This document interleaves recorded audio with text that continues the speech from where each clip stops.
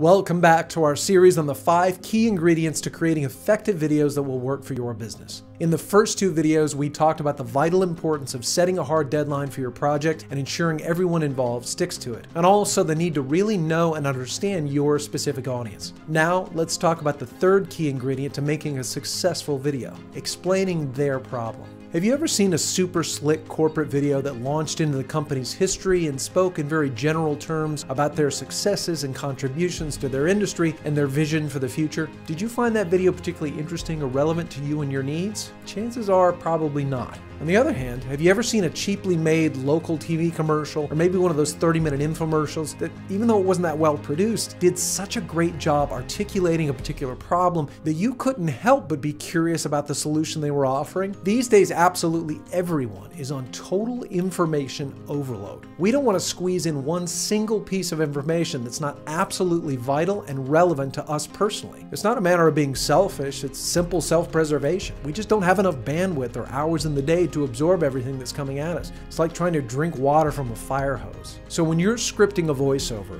or typing text that will appear on screen in an animated video, for instance, or figuring out the questions you want to ask the people you'd like to interview on camera, the key is to explain the central problem or problems your specific audience is experiencing. It's best to do it in a very simple, conversational, and matter of fact way, like they're talking to a friend or colleague who happens to know a lot about the problems they're trying to solve, and who's happy to explain what they know in a casual way that's very easy to follow. Do not make your audience work for it. Don't worry about being overly exciting or entertaining. People want help. If they find it, they'll appreciate it and remember it. The more straightforward, honest, and sincere, the better. Explain their problem to them in a way that has them nodding their head and saying, Yes, exactly.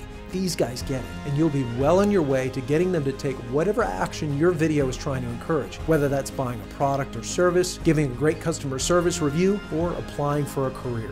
In the next video in this series, we'll talk about the fourth key ingredient to creating a successful video, giving them a simple solution.